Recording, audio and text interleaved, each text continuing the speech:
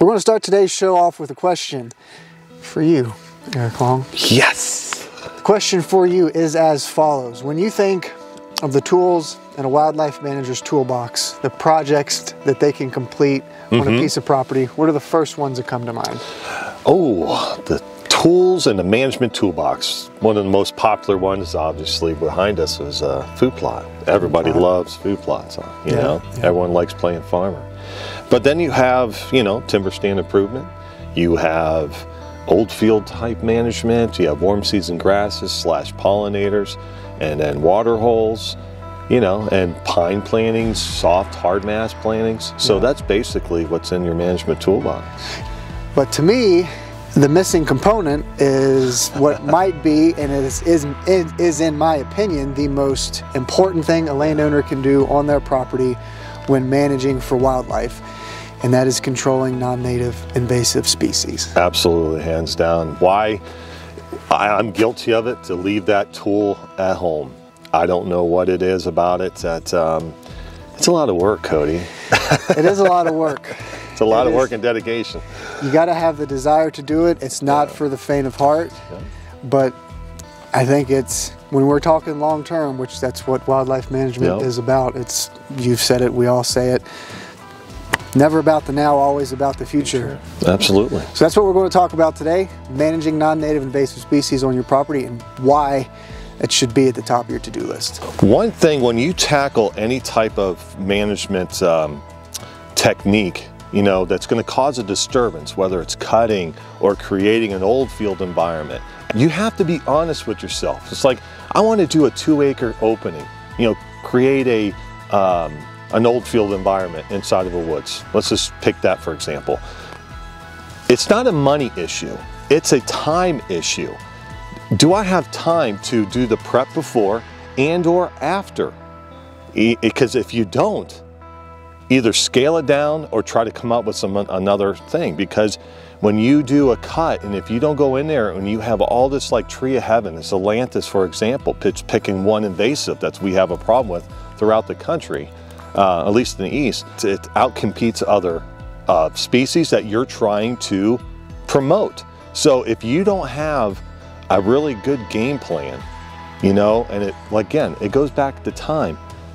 Sometimes either scale it down smaller where you can control it, and uh, or just really, I'll be honest with you, I'd rather you not do it, you know, so that way you're not fighting invasives in the future. Before you get out in the field and actually start doing work managing non-native invasive species, consult with a professional, have a certified forester come out to your property, a private lands biologist, somebody who can first and foremost really help you identify the problematic non-native invasives on your property because it's actually pretty interesting. They vary from property to property. You could be on a certain piece of property and it's chock full of autumn olive. You go a mile down the road and there's no autumn olive, but it's all Japanese stiltgrass and ailanthus.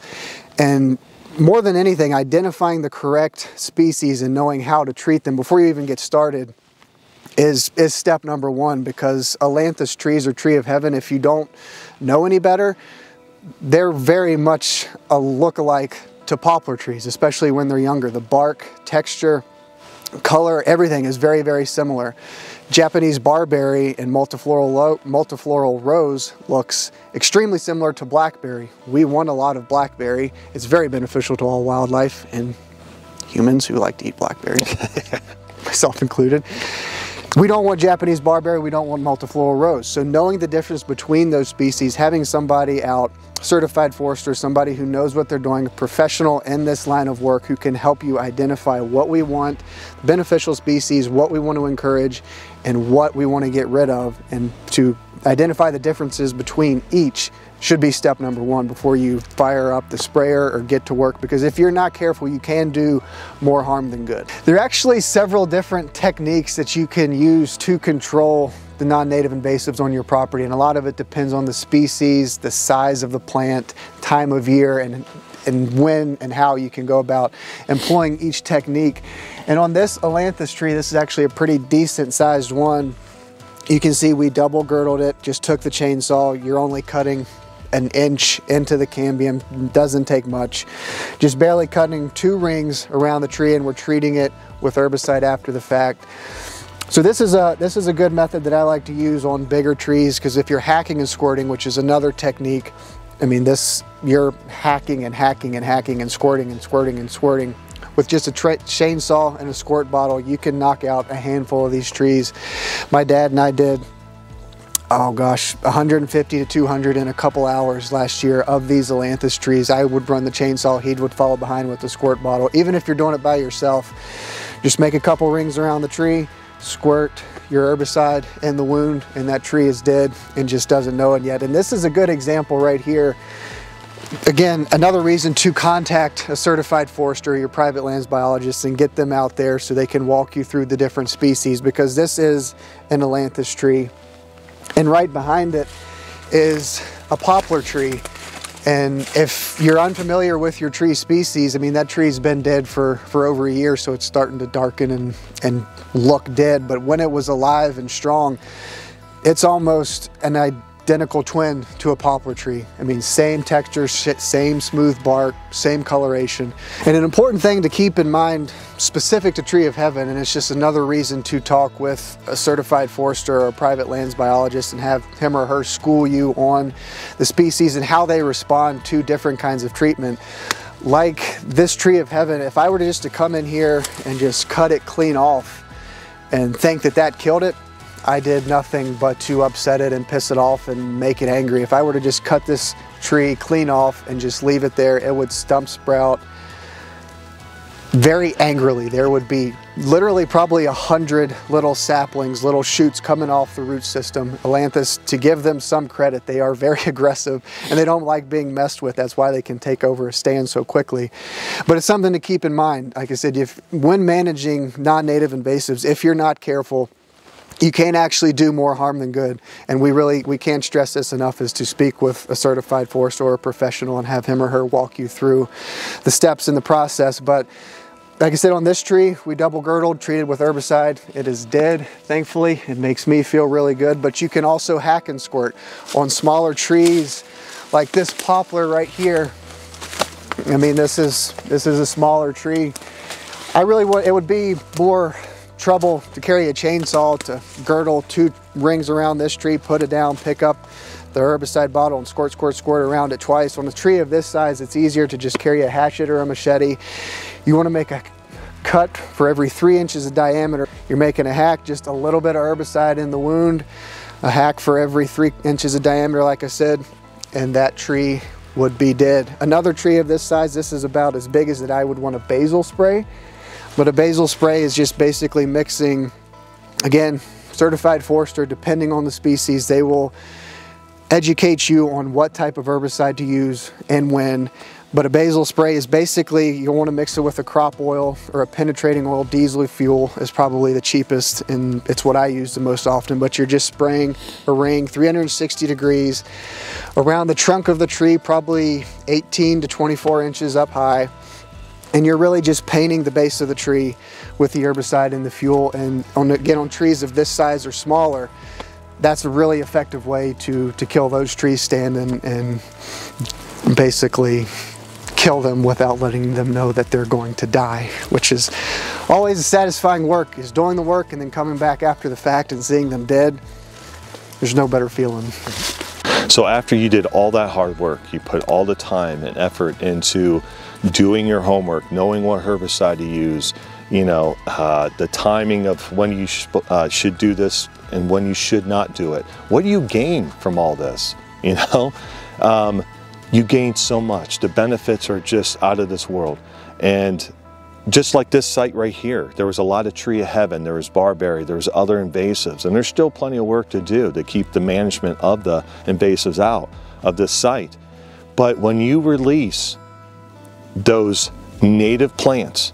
They're no longer fighting for sun. They're no longer fighting for energy, the nutrients in the soil. And this is just like a, site that's a couple years old. Cody went in here and just attacked it. And just from him doing that, we have, you look around here, we have greenbrier, we have um, regular just blackberry, we have forbs, we have grasses, all this stuff, if he would have not gotten in here and attacked it like you're, supposed to. This would be a solid stand of invasives and all this right here would be competing against it, against it and trust me, it would lose because uh, invasives, they're just really competitive. And uh, just do little things. It's amazing the benefit that you get from it, and especially the wildlife that will use this site. Just that alone is a win. So we started this episode off with a question and it was kind of to get you to stop and think and we kind of arrived at a different answer that the question was intended to accomplish and that is that managing non-native invasive species on your property is arguably the most important thing you can do for the habitat and the wildlife that call it home. And we kind of walked you through the process in general of what managing non-native invasives looks like from the very beginning bringing out a forester or a certified forester or professional to walk you through the process of identifying what species are problematic and how to treat those species. We talked about the different methodology and how, when and where and how to do them from girdling to hack and squirt, basal spray. And of course we talked about the, the tangible physical benefits that, that you can see and observe in releasing natives and how wildlife respond to native plant species, which is the ultimate end goal and the name of the game, really. But more than anything else, removing non-native invasive species off of your property, it, it starts with a decision, and that decision is to take what you have and leave it better than you found it, which is the essence of wildlife management, of conservation, of land stewardship.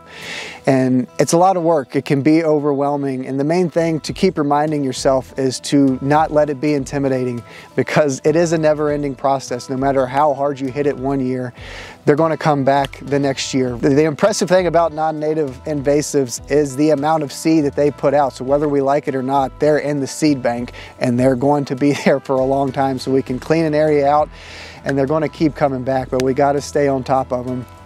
But again, it's just a decision to realize that it's a fight worth fighting and to not let yourself be overwhelmed because it is so much work. When you look at your property, don't try to do the entire piece of property in one year because you're going to get burned out, you're going to feel defeated. Break it up into quadrants, manage an acre or two at a time in this block, manage an acre or two at a time over here, identify a certain species and say, you know, this year I'm really going to hit autumn olive heart. And then next year, I'm really going to get after the stilt grass. And then manage your expectations and your goals and what you can accomplish realistically as you're managing non-native invasives because it is a lot of work. We've mentioned it. It's not for the faint of heart, but for the habitat and the wildlife that call it home, it is absolutely necessary and a critical part of your wildlife management journey. But at the end of the day, as much work as it is, for me, it's satisfying work. It's, it's sweat equity, but it is work that I enjoy. But at the end of the day, you got to remind yourself to have fun, enjoy it, smile you're, while you're out there, be grateful for the opportunity to get out, stretch your legs, manage habitat, and enjoy wildlife. And just as it is for you, it is for me, wildlife is our way of life.